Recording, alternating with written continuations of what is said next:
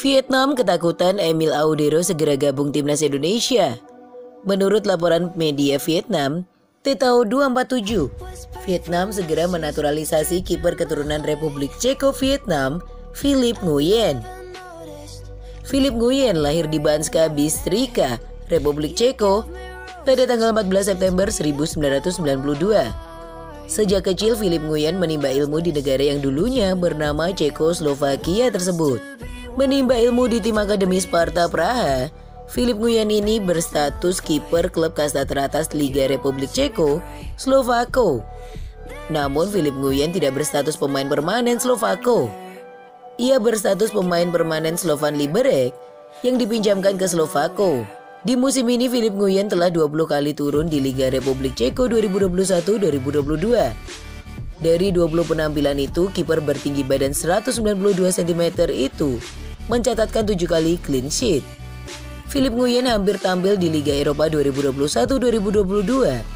Sayangnya di babak kedua kualifikasi Liga Eropa 2021-2022, FC Slovako kalah dari klub asal Bulgaria, Lokomotiv Plovdiv. Sayangnya Philip Nguyen takkan terus berkarir di Eropa. Menurut laporan Tetao 247, pada bulan Mei 2022, Philip Nguyen diprediksi bergabung dengan salah satu klub Liga Vietnam, Binh Club. Tanda-tanda tersebut terlihat ketika ayah Philip Nguyen baru-baru ini menyaksikan langsung laga Bindin di lanjutan Liga Vietnam.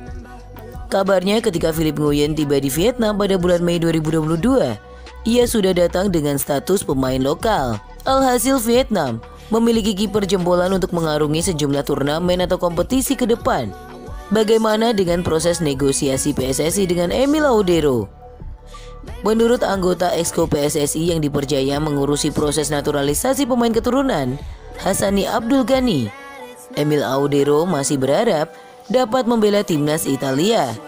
Namun keputusan menerima atau menolak tawaran Indonesia akan diumumkan kubu Emil Audero minggu depan.